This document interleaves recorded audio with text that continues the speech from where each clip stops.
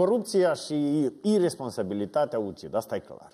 Asta au scandat mai mulți protestatari în fața primăriei Chișinău. Aceștia au cerut demisia celor vinovați de tragedia din parcul Alunelul, unde un copil a fost ucis de un, o creangă a unui copac prăbușită.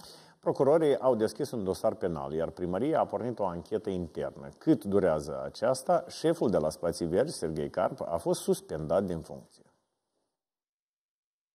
Deci noi astăzi am venit uh, ca să um, sesizăm această tragedie care s-a întâmplat, fiindcă, din păcate, în contextul politic uh, și social care suntem, ea cumva a fost trecută cu vederea uh, și pe noi, ca părinți, ne-a Ehm, ne-am figurat, să spunem așa, ideea sau gândul că oricine din noi putea fi în acel moment cu copilul sau chiar un matur în acel parc. La primărie Chișinău se tolerează incompetența, se tolerează uh, corupția, se, se tolerează irresponsabilitatea. Ne-a scuturat în profunzime și suntem uh, total, total uh, neglijați, total neauziți și tindem să credem că siguranța copiilor uh, nu este o prioritate în acest oraș, nu este o prioritate în această țară. Ne pare foarte rău. Am venit, cred că, cu scopul de a opri sau de a transmite mesaj că deja nu se mai poate.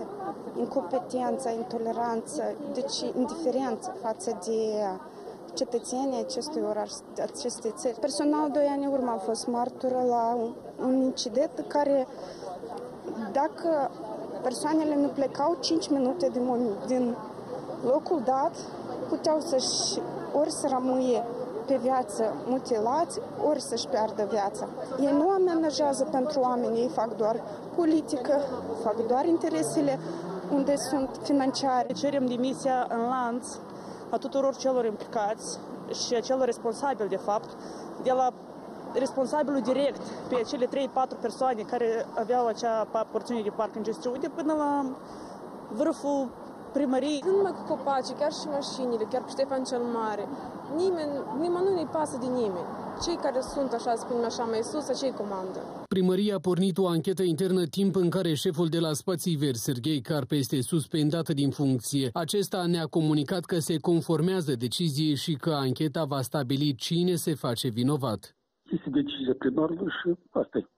Procuratura Chișinău a deschis un dosar penal pentru neglijență în serviciu. Pe 14 mai 2022 a fost pornită urmărirea penală pe faptul neîndeplinirii sau îndeplinirii necorespunzătoare de către persoane publice a obligațiilor de serviciu, ca rezultat a unei atitudini neglijente sau neconștiincioase față de ele, care a cauzat decesul unei persoane. Sâmbătă, 14 mai, în parcul Alunelul s-a întâmplat o tragedie. Potrivit autorităților, o secțiune de arbore s-a rupt și a căzut peste un cărucior în care se afla un copil de un an și două luni, deși a fost transportată de urgență în secția reanimare a Spitalului Clinic Municipal pentru Copii. Victima a decedat la scurt timp.